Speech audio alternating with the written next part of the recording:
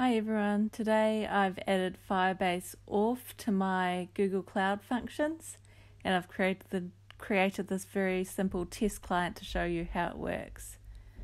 So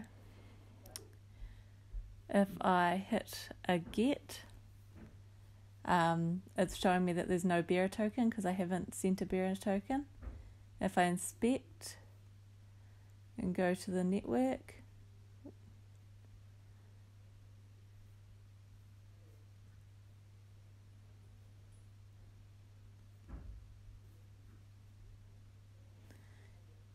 you can see that this is my response, a 401 unauthorized.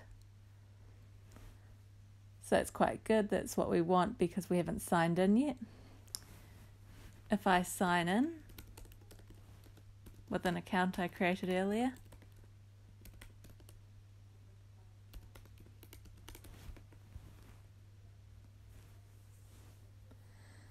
and then call the APIs. So you can see it's managed to make the call to get drill tokens and then it's decoded the token. And if I were to inspect this further again,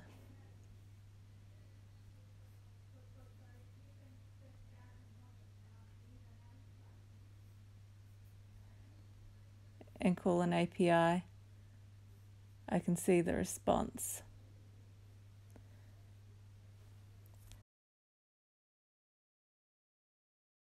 That's an example of um, adding auth to your Google Cloud functions using Firebase. It's pretty simple and easy to set up, so I'll just show you a bit about that.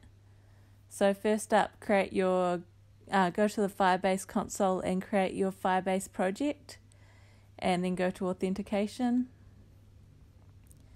You'll need to enable a sign-in method, so I've chosen to enable email and password but there's other things like GitHub and Google and Facebook, pretty much everything. You can see any users that have signed up here. So here's my user. Um, and that's and it tells you all these extra credentials you need. So the code for it is also pretty simple. To demo it, I've created a very basic React website, and I've um, installed Firebase. So first up, you get this Firebase config from Google. Um, and you just copy and paste it in and initialize your app with that config. And then you can get the auth. Um, that will enable you to sign people in, sign people out, and create users. So on sign out button click, I want to sign out um, I've also want to create a user with password, email and password. It's all just pretty basic um, code that Firebase tells you how to implement, but you can copy and paste it out of my code or will be available on GitHub after this. Um,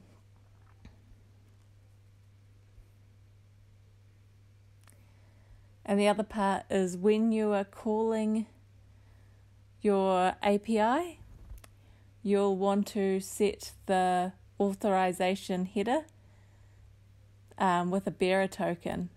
And to get that bearer token, you'll use the current user, which you've set on um, login or create, and you'll get their ID token and then you'll call the URL with that options. So if I go look at the um, API calls, this is how it looks. First up, I've um, installed a new npm package. It's um, the Firebase admin package, and I am cre- initializing my admin with the service account. Now, to get the service account JSON, you need to go back to your Firebase project.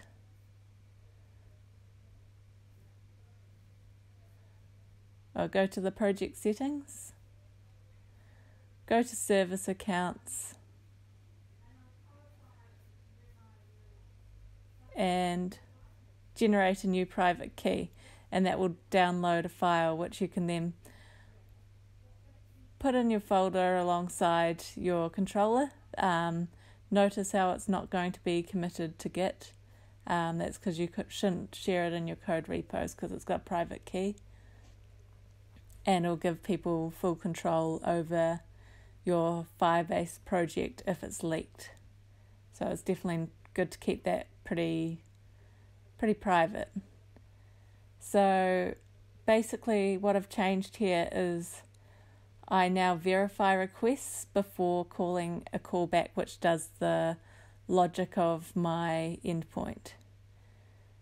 So if I look at verify request, what it does is it checks the authorization headers, and if there isn't one, then it sends a 401 HTTP status to indicate that it's an unauthorized access.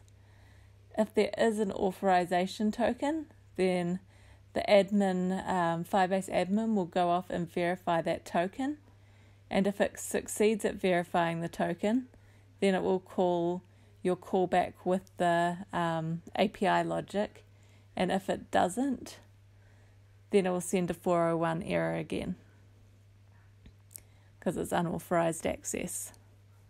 So that's pretty pretty simple and easy to set up and you get quite a lot of free authorizations with the um, Firebase auth, so I really recommend it. All my code's on GitHub, so you can check it out there and have a play with it.